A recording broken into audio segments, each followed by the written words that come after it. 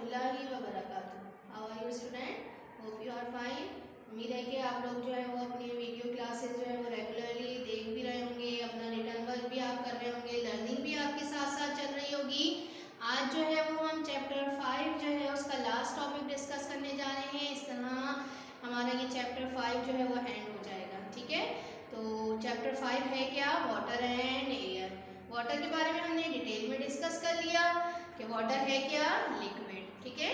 Matter हमने देखा था मैटर की स्टेट्स देखी थ्री स्टेट्स हैं सॉलिड लिक्विड और गैस लिक्विड के एग्ज़ाम्पल में हमने वाटर देखा. और आज जो हम मैटर डिस्कस करने जा रहे हैं, वो क्या है आपका? एयर ठीक है? क्या है एयर एयर कहाँ मौजूद है? Air air is present all around us हमारे इर्द गिर्द क्या मौजूद है? एयर मौजूद है. लेकिन इस एयर को हम देख नहीं सकते. नज़र आती है एयर नहीं नज़र आती ना हमें? लेकिन इसे हम फील कर सकते हैं। फील करते हैं, हवा बहुत तेज़ चल रही हो तो आपको फील होता है। ठीक है, इसी तरह से फ़ैन के नीचे अगर आप मौजूद हैं तो फ़ैन से भी हवा निकल रही होती है, आपको फील होती है। बलून के अंदर से अगर हम एयर को जो है वो निकाल रहे हों तो वो भी फील कर सकते हैं आप।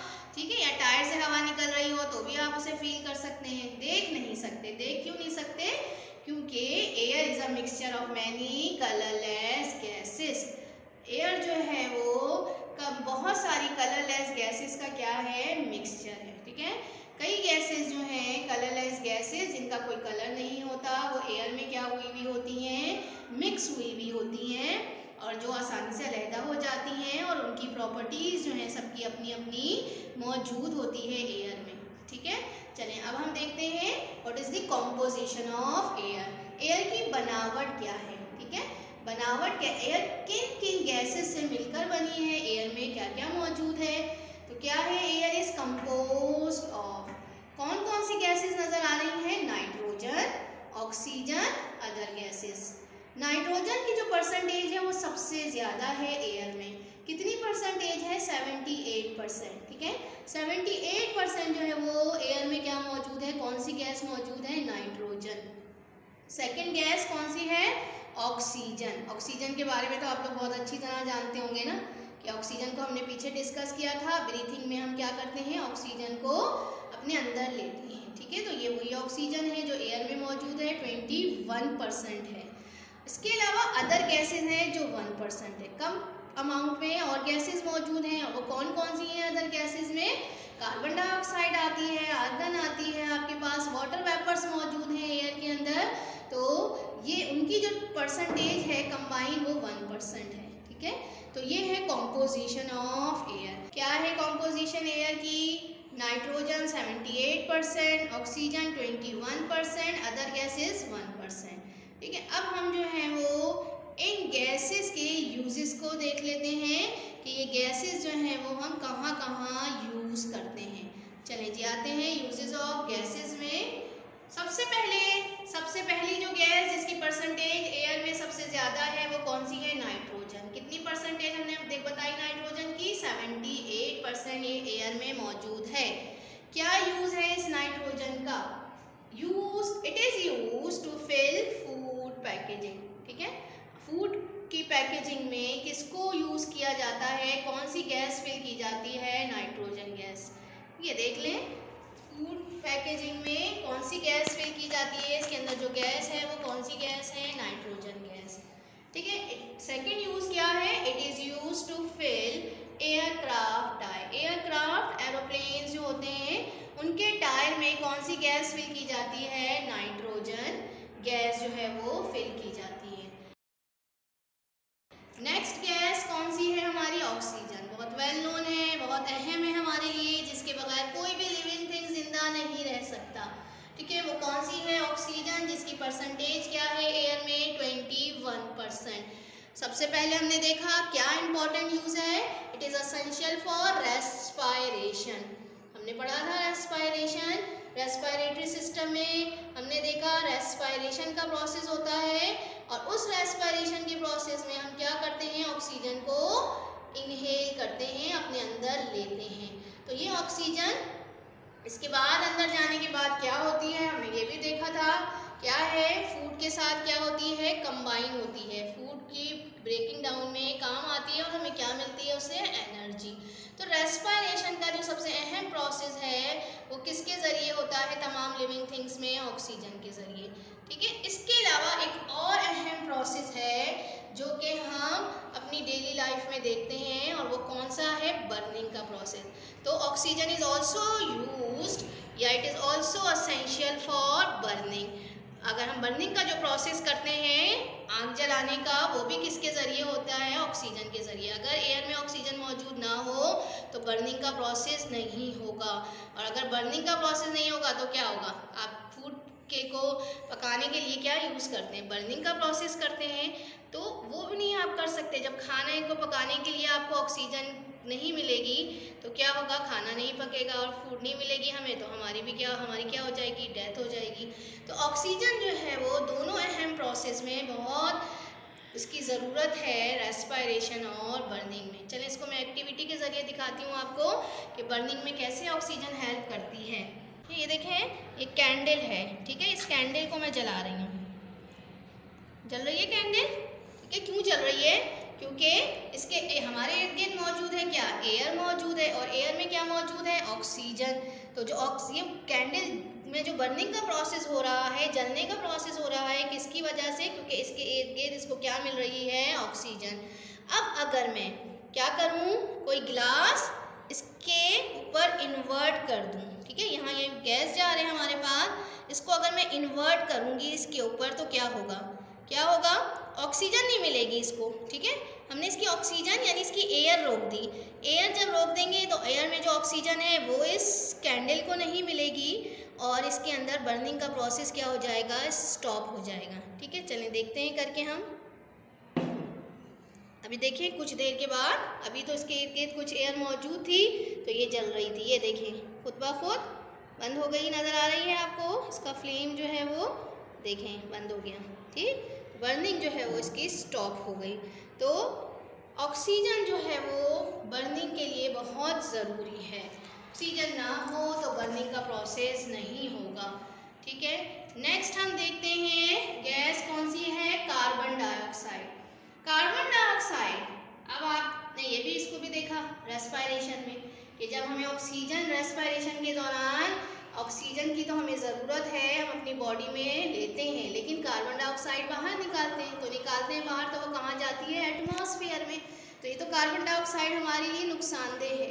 लेकिन अल्लाह ताला ने कोई चीज़ बेकार नहीं बनाई ना तो इसी तरह से कार्बन डाइऑक्साइड हमारे लिए, यानी किसके लिए? ह्यूमन बींग्स के लिए तो फ़ायदा नहीं है।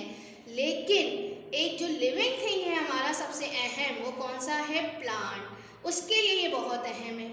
क्यों? क्योंकि प्लांट्स जो हैं वो कार्बन डाइऑक्साइड के ज़रिए अपनी फ़ूड मेकिंग का फ़ूड की प्रिपरेशन का प्रोसेस करते हैं।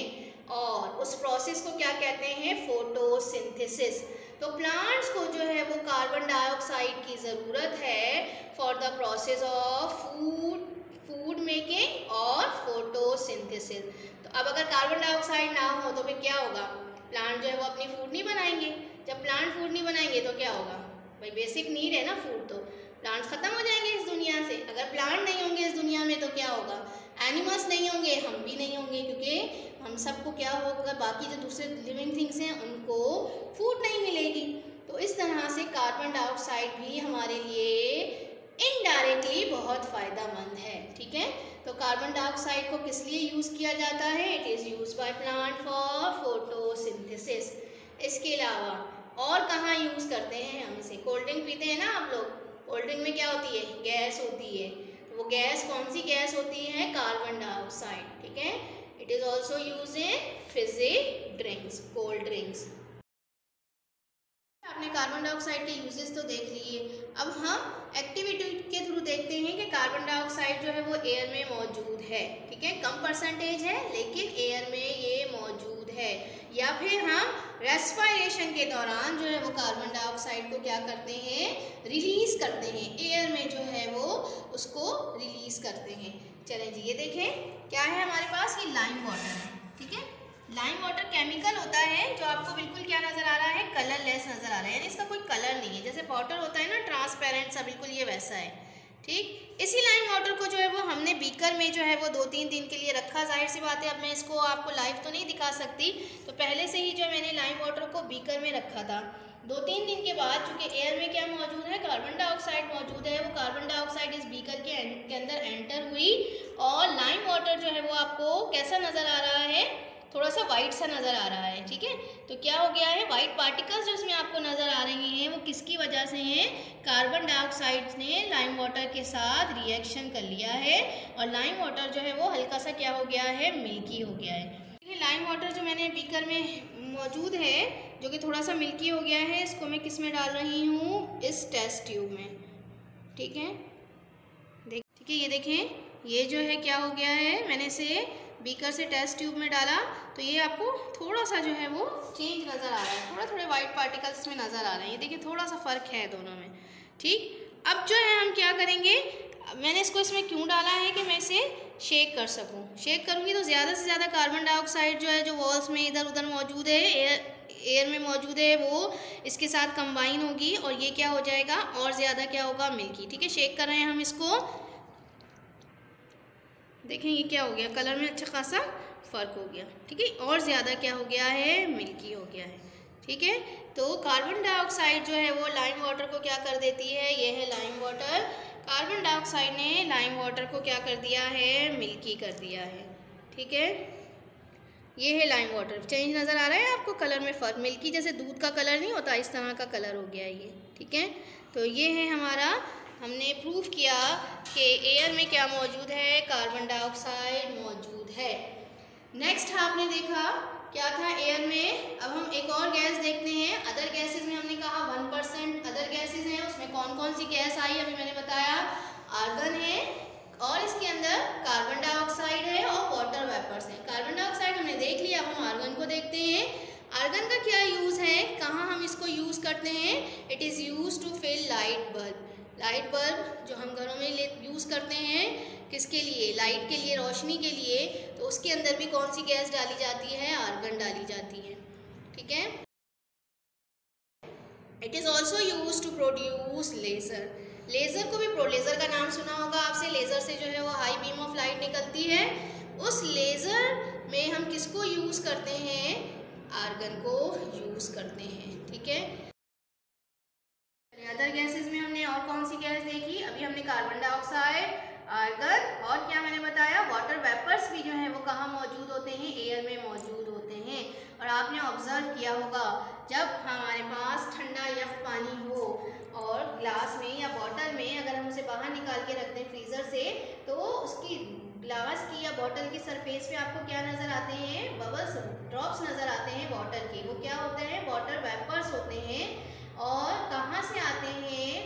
कहाँ से? जो एयर में वाटर वेपर्स मौजूद हैं, वो ग्लास की सरफेस पर आ जाते हैं या बॉटल की।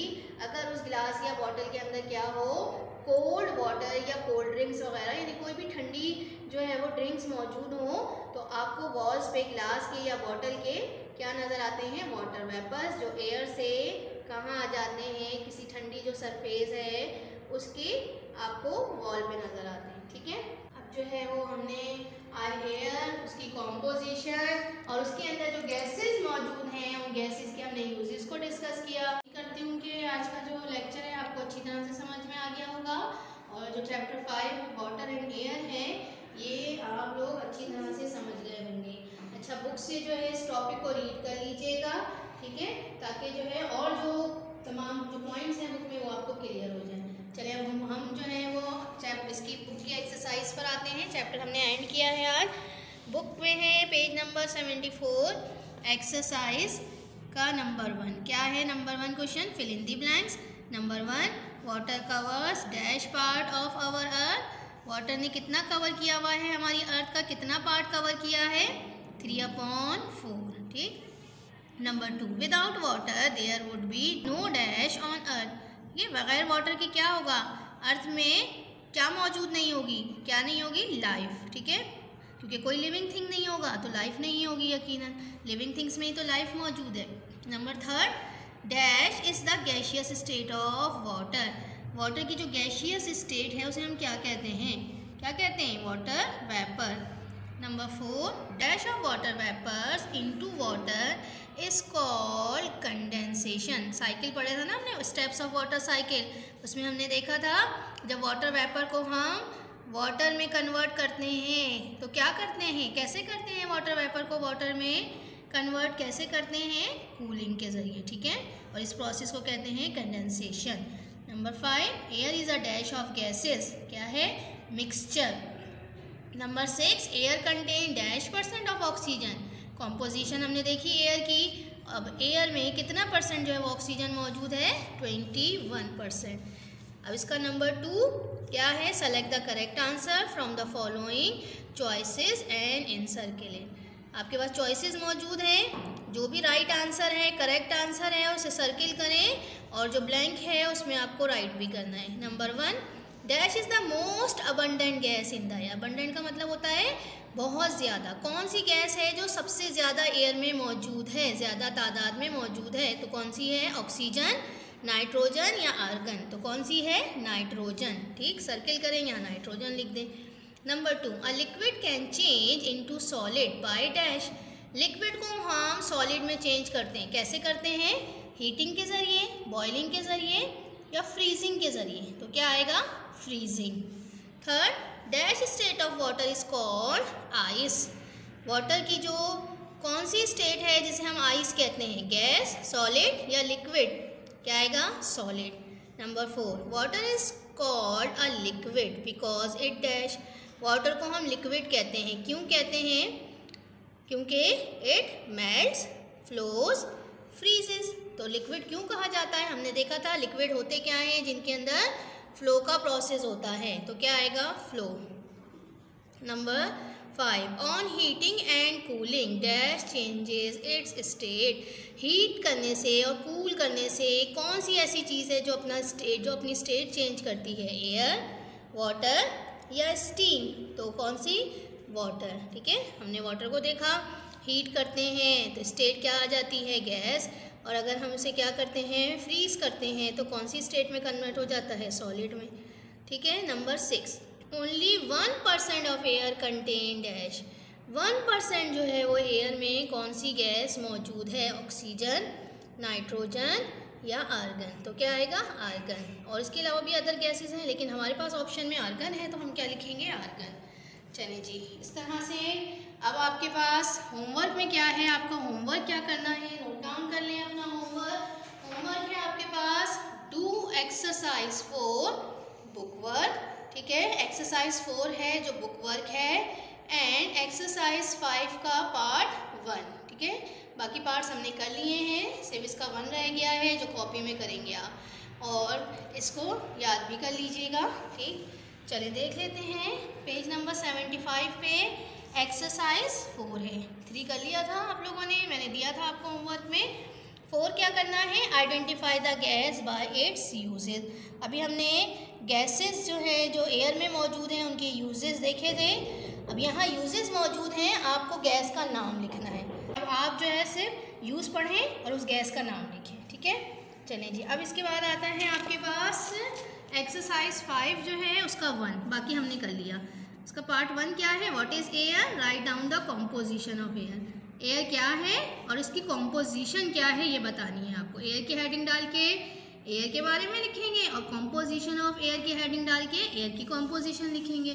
कॉपी में करना है आपको ये काम, ठीक है? हमारा ये चैप्टर फाइव जो है वो ख़त्म हुआ। उम्मीद है कि आज की वीडियो और आपका, इसका होमवर्क जो है आपको अच्छी तरह से समझ में आ गया होगा। चैप्टर वन से लेकर चैप्टर फाइव जो है वो हमने अब तक कर लिए हैं। उम्मीद है आपने इसका रिटर्न वर्क भी कर लिया होगा और लर्निंग भी कर ली होगी, ठीक है? इंशाल्लाह आपके स्कूल खुलने वाले हैं तो अपना रिटर्न वर्क भी कंप्लीट कर लें और अपनी लर्निंग भी जो है वो प्रॉपर करके आइएगा, ठीक है? अल्लाह हाफिज़।